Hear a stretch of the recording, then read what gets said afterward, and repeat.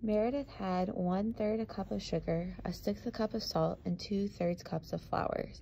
What is the total of the ingredients? Can you find an equivalent fraction for your answer? So because they're asking me for the total, I need to add each of my fractions. So one third plus one sixth plus two thirds.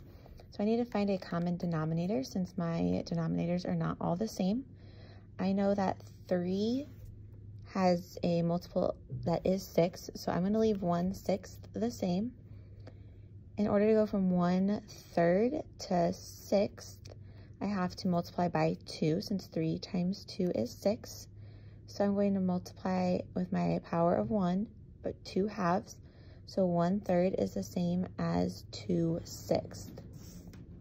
And then 2 thirds, I would do the same thing 2 thirds times the power of 1 using 2 halves, and that gives me 4 sixths. Remember when we add fractions, we keep the denominator the same once we have found that common denominator, and we just add the numerators. So 1 and 4 is 5, 5 and 2 more is 7. So I can leave this as an improper fraction. Improper fractions have numerators that are greater than the denominator, or I can make this into a mixed number.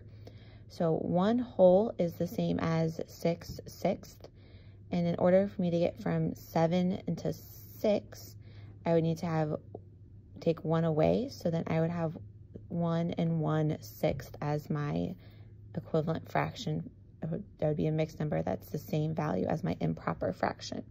So the total ingredients is 1 and 1 sixth cups. The next problem is only requires a bar model to solve. So I, in all of my free time, so it doesn't matter the amount, but in the total amount of free time that I have, I'm going to use one fifth of my time to finish my homework. One fourth of the remaining time, I'm going to practice bar models.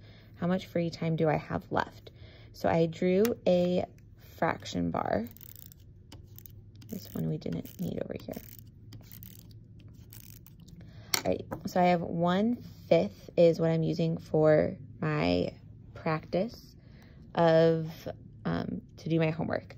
And then one fourth of the remaining, so I have four pieces left of my one fifth of my fraction bar that I split into five parts. I have one piece of that four that are left I'm going to use for bar models. And I have three fifths that are not used. So 3 fifths of my time is my free time. So again, I started with a whole fraction bar and I split it into five parts. One fifth of that was for my homework. One fourth of the remaining time, so now I have four pieces that are not shaded in. One fourth of that is for bar models. And then what is left is my free time. And I have three pieces of my bar left, and each one of those is one fifth. And so three fifths, three, one fifth, three times is three fifths. Go ahead and try this problem on your own. Adam is expected to his homework to take him four fifths of an hour to complete. It only took him three fourths of an hour. How much faster did he complete it than he expected? So for this one, I sketched both fractions and 4 fifths is greater, and I want to figure out how much greater is that. What is the difference between those two fractions? And so I need to subtract. I don't have common denominators, so I had to find those using the power of 1. So 20 would be a great equivalent fraction to find a common denominator to find. So for me to go from 5 to 20, I have to multiply by 4 fourths. And for me to go from 4 to 20, I multiply by 5 fifths. So now I have 16 twentieths and 15 twentieths, and when I subtract those, I get 1 20th.